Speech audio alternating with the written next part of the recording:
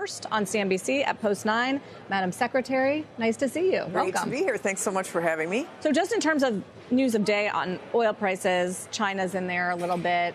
It's been weak demand. And then the Middle East, as tensions escalate between Israel and Hezbollah, I do wonder what you think the scope is for a wider regional escalation that could potentially involve more directly Iran, the big producer. Yeah, I mean everybody is is watching this and seated at the end of their of their chairs for a variety of reasons, not just because of oil prices, of course.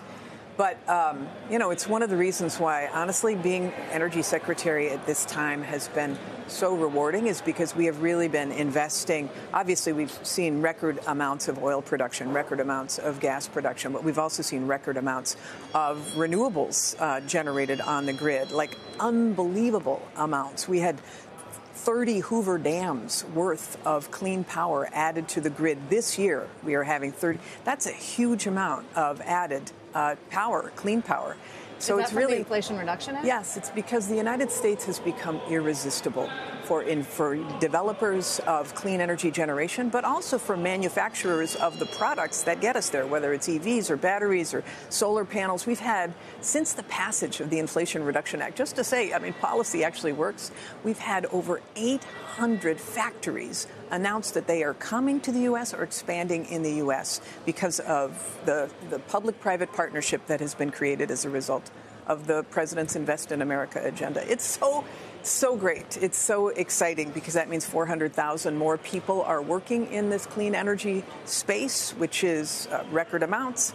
It's it's really an I wonder, amo- I wonder how much time. of that is at risk as, you know, if, if Donald Trump becomes president, he has threatened to roll some of it back to help pay down the deficit and pay for some of his other initiatives. Yeah, I mean, here's the thing is that, in fact, just this past week, there were 18 Republicans who signed on to a letter saying, please don't roll this back because we're seeing the benefits in our states. 86% of the investment. So there has been half a trillion dollars worth of investment in this clean energy space since the passage of the Inflation Reduction Act. Half a trillion dollars. Of that, $1 for uh, public money, $6 of private money. That's a 71% increase over the two years prior.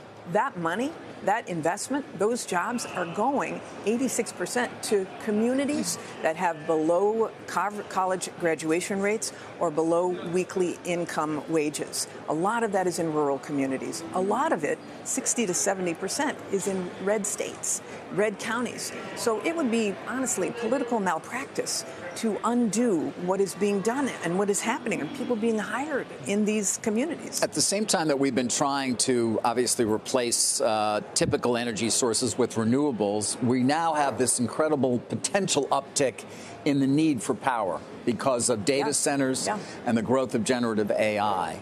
Uh, how do you see it playing out? I mean, we talk a lot about nuclear power now. We were just yeah. talking about Three Mile Island coming back online, or at least one of the reactors, and any number of other uh, nuclear uh, sites as well being recommissioned, yeah. so to speak. How's it going to mix out given our power needs could be 20% higher than they are right now in a, in a handful of years? Well, the estimates are 15% higher within 10 years as a result both of AI as well as all this new manufacturing activity, as well as electrifying the transportation sector. So we are going to need more power. But I'm telling you, we are adding that power. We're adding record amounts of clean power. But in addition, the hyperscalers for these um, big data centers, they all have commitments to clean energy too. And they don't want to see themselves themselves located in a community where their demand for power causes everybody else's rates to go up. So they're committed, they've been telling us, to bringing that power with them, which is why the need for nuclear small modular reactors, co locating data centers with small modular reactors, or the partnerships, for example, with Constellation and Microsoft for Three Mile Island to turn on more power. We've got a ton of nuclear sites in this country that have already been permitted for additional reactors that could be powering data centers as well. So we're working working with those hyperscalers to make sure that they, in fact, bring that clean power with them and don't uh, put that cost on everyday citizens.